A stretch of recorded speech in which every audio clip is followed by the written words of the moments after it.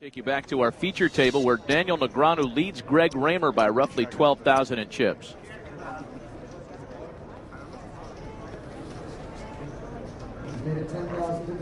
And suited 10-5 for Raymer. And he's going to continue his aggressive play. He raises to 3,600. Negreanu also with hearts, Jack 7. 36, yeah? Yeah. Yes, sir. And he calls. Six. Flop is King Jack Deuce, a pair of jacks for Negreanu. And no hearts for either player. Check, check on the flop. Turns an eight of hearts.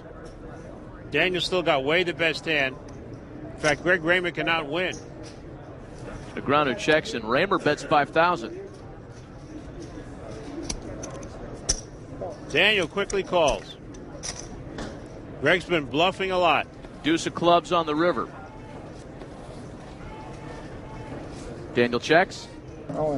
And Greg Raymer moves all in. Immediately, this is a bi- this is the biggest bluff he's made in this match in this tournament so far. It's a major bluff. He's got 10 high. Daniel's got jacks, second pair, pair of deuces out there. Remember, Greg Raymer raised before the flop.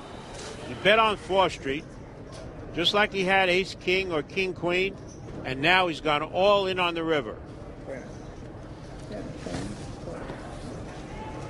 Greg's trying not to show anything. Bigger two pairs, no set of queens. Otherwise, we'll be eliminated. Daniel smells something. Let's take a look at the river tonight. Oh, this could be a real big mistake. It's three and a half. Queen jack is on two pairs, queens over it. Greg didn't like to hear that. Daniel's indicated he's going to call. I gotta go with my gut. Gotta go with my gut. This could be really stupid.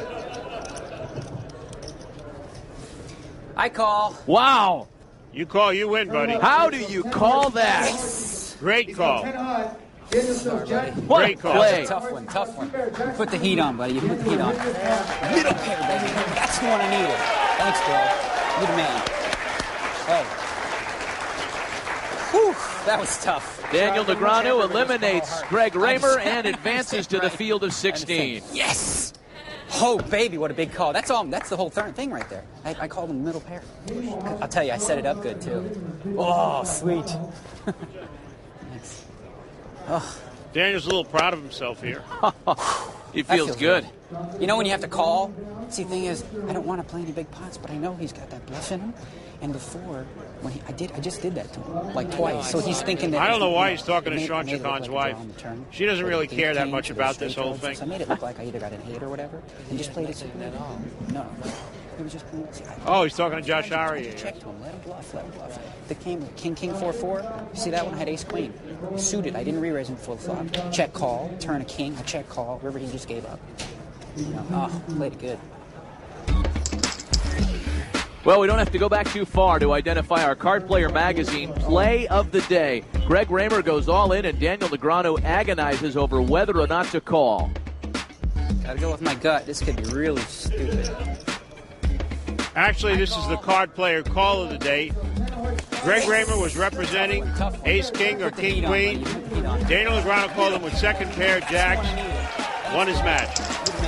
The winner is standing by with Catherine Tappan.